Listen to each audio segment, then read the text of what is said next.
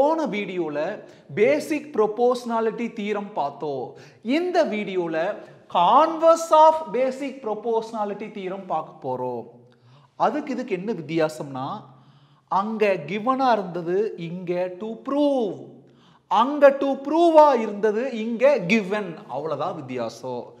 First diagram வரைஞ்சிக்கலாம். கவுனிங்க. டயக்ராமோட நேம் ஏபிசின்னு கொடுத்துக்கலாம். ஏ பி சி ஒரு ஸ்ட்ரெயிட் லைன் அது ரெண்டு சைட்ஸை டிவைட் பண்ணுது. அதுக்கு என்ன நேம் கொடுத்துக்கலாம்? டி இந்த இடம் டி இந்த இடம் இ இப்போ கிவன் எழுதலாம்.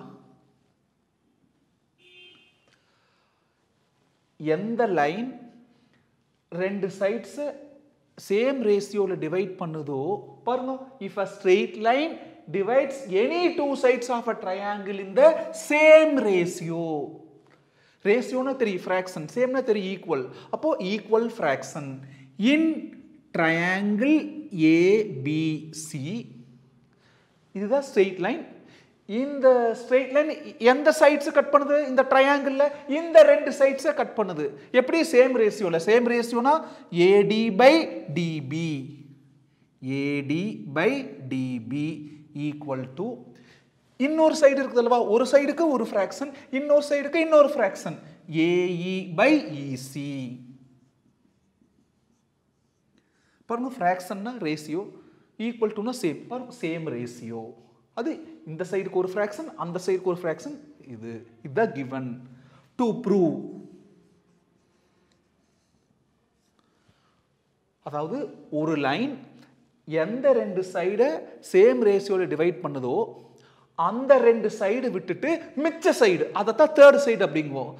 அந்த மிச்ச சைடுக்கு அந்த லைன் பேரலாக இருக்கும். அதைத்தான் ப்ரூவ் பண்ணணும். To prove DE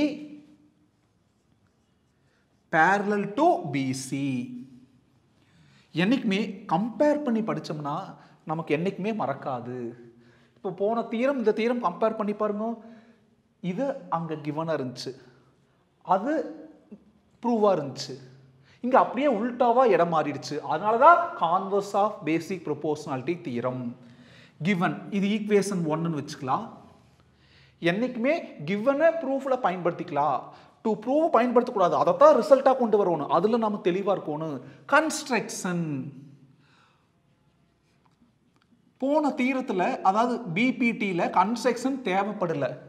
இங்கே ப்ரூஃபுக்கு சில எக்ஸ்ட்ரா ஆல்ட்ரேஷன் தேவைப்படுது. அதைத்தான் கன்ஸ்ட்ரக்ஷன் இங்கே சொல்லி காமிக்க போகிறோம் என்ன கன்ஸ்ட்ரக்ஷன் அப்படின்னா நம்ம வந்து டிஇ தான் பேரலல் டு பிசின்னு ப்ரூவ் பண்ணணும். நம்ம நாட் பேரலல்னு அசியூம் பண்ணிக்கிறோம்.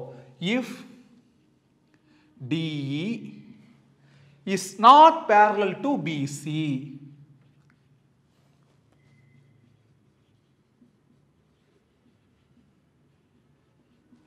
comma draw பாருங்க ஒரு ட்ரா பண்றோம். என்ன ட்ரா பண்றோம்? டிஎஃப் பேரலல் டு பிசி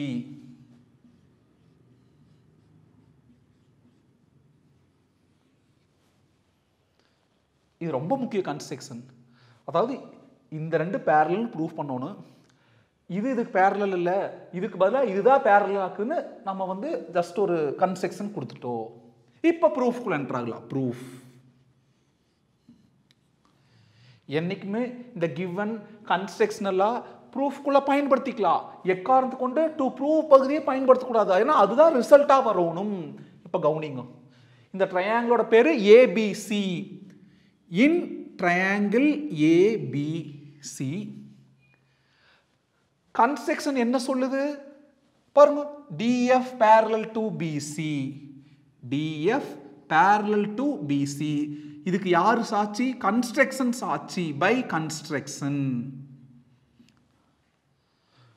ஒரு ட்ரையாங்கிளில் ஒரு சைடுக்கு பேரலாக ஒரு லைன் வரைஞ்சோம்னா மீதி ரெண்டு சைடை அது சேம் ரேஷியோவில் டிவைட் பண்ணும். போன தீரம் சொல்லுச்சு. அந்த தீரத்தை இங்கே பயன்படுத்த போகிறோம் பிகாஸ் பேரலாக இருக்குது. பாருங்கள் DF parallel to BC by basic proportionality theorem. நீங்கள் பிபிடின்னு எழுதினா கூட கரெக்டு இதுக்கு இன்னொரு பேர் டேல்ஸ் தீரம்.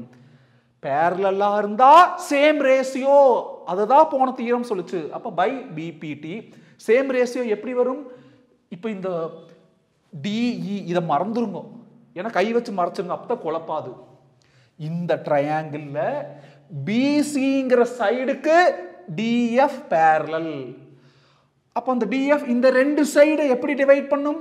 Same ரேஷியோனா AD by DB equal to AF by FC சொல்லுங்க AD by DB equal to AD by DB equal to AD by DB equal to AF by FC. Equation number 2. From 1 and 2 எழுதலாம் சரி அல்லது இதை கொண்டு அதுலையோ அதை கொண்டு இதுலையோ substitute பண்ணால் சரி.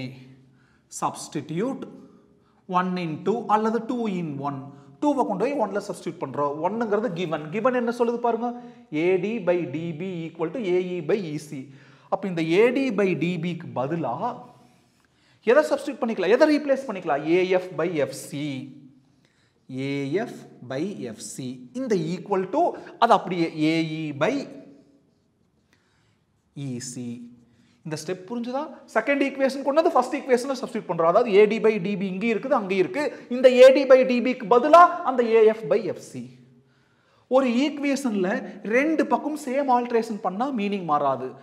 Add one on both sides அப்போது AF by FC plus 1 equal to AE by EC